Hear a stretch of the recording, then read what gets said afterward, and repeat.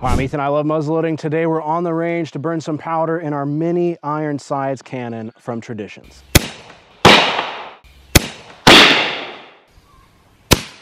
Full disclosure, Traditions sent me this kit to build on the channel. You can watch the full build process in its own separate video there. Coming off of building this, it was a lot of fun, dirt simple to put together. If you have a screwdriver and you have a paintbrush, you can put this together. Uh, I'm a big fan of this and I think we came out with a, a fun result and I'm excited to get this out here on the range.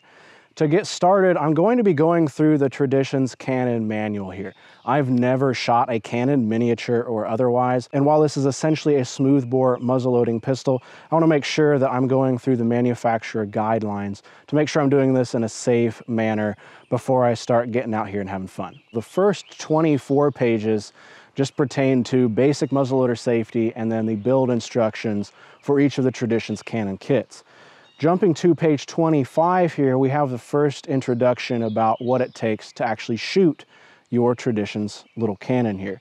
Um, black powder, Pyrodex, or 777 are the only suitable propellants for your Traditions muzzleloading cannon. They recommend 1FG black powder. It's the coarsest granulation for cannons. You actually see that being used a lot in full-sized cannons for both military reenacting and then competitions like you see out of the NSSA. So to shoot this cannon, I've got some Goex 2FG powder. It's some old powder that I've had sitting. And then I've got some 490 round balls. These are in pre-lubed uh, patches in this little ball board here. I also have some loose patches here that are out of some pillow ticking and then some 490 round balls in this little flask. Traditions recommends that you use their Traditions cannon fuse. I could not get that in time uh, for when my schedule here, so I picked up some cannon fuse from Flintlocks LLC at the NMLRA uh, spring shoot this year. We're gonna be using this. It burns at a rate of 40 seconds per foot. Uh, we're actually gonna be verifying that according to Traditions recommendations here, just to make sure that we have a safe length of fuse before we get to shooting. And then uh, always verify the cannon is loaded or unloaded. I know as a matter of fact that this cannon is unloaded, but we're gonna use our uh, short pistol ramrod here just to verify like we would on anything else. So I've got a hard metal ping down at the base of the breech there. I'm gonna remove the ramrod with my thumb, as you can see here, and my finger uh, aligning with the muzzle. You can mark your ramrods as well, and that's something we really recommend you do on your new muzzle loaders. I can bring that out, I can line up my nail and my finger end on the muzzle, and we can see that our ramrod goes back to our little fuse hole here. So we know this is verified um, to be clear and ready to shoot. So we know our safe load, we know our projectile size, we have all of that around. It's time to do a quick test of our cannon fuse here. And I'm gonna open this like a caveman, I guess. I don't have a ruler, but I'm gonna kind of eyeball a one foot length of this. This comes as 10 feet, and then I've got my little lighter here. So I'm going to set this just right here. I'm gonna get my stopwatch out. I'm gonna verify this rate of burn. This is my loading bench as you've seen in other videos. I've made sure that there's no residue of black powder or any caps or anything on this bench before I did this test. It'd probably be good to do this on your driveway or like a piece of concrete, maybe a patio paver. Um, but this is just kind of a beat up bench. I'm gonna have to replace these boards anyway down the road, so I'm not too worried about it. As it burnt out there, we were at 33 seconds according to my phone, just about 34. Um, so it's uh, probably a little bit less than a whole one foot section there, but I think we're probably safe uh, to use this lot of cannon fuse and start shooting. Our target today is this line of nondescript military invaders.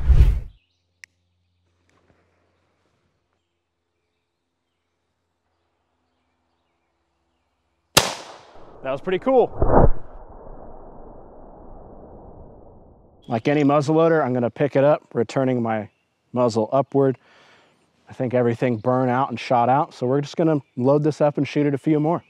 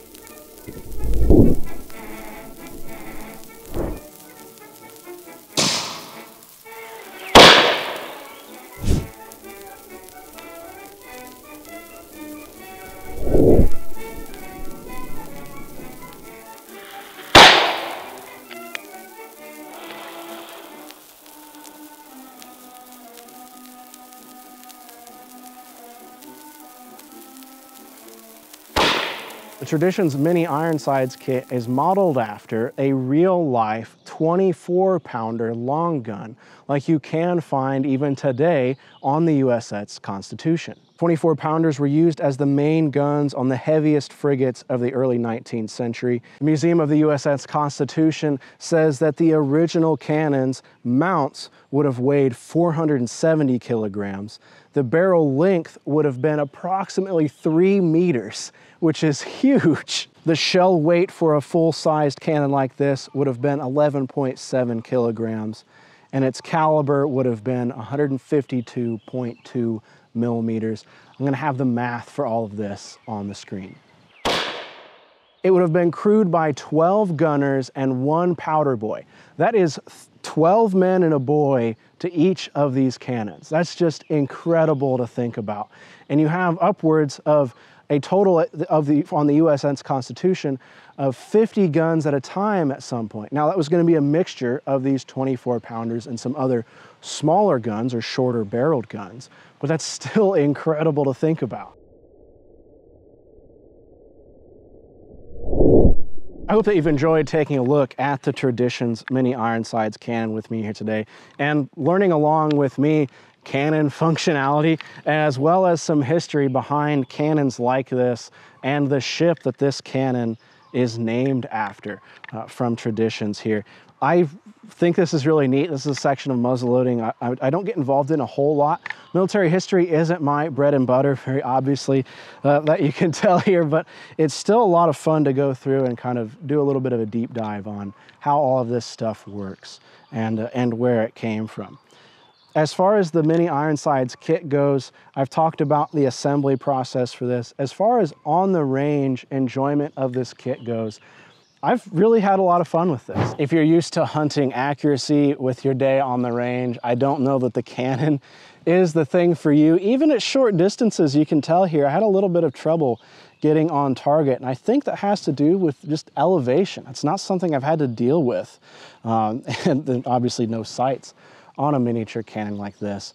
But even though we didn't hit a lot of our, our invading force here, I think we might have spooked them a little bit and, uh, and maybe bought some time for some of our riflemen up here in the woods. But really, it's a great way to facilitate, you know, kind of exposing maybe some friends or family members to black powder, to muzzleloading, and to history in general, uh, these kits. Really, it's just a neat little thing. I've really enjoyed my time with it. Um, from the building aspect to bringing it out here on the range. This is definitely something I'm gonna be taking to some range days uh, when I have a group of people or some friends around, just to give everybody a little bit of exposure to this kind of shooting.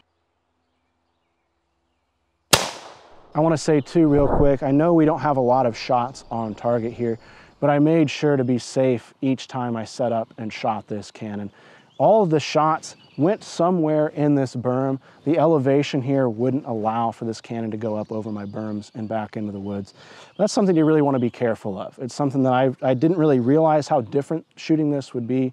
Um, so please, as always, be safe when you're out shooting your muzzleloaders, especially your little miniature cannons, and make sure you know what's at your backstop and beyond.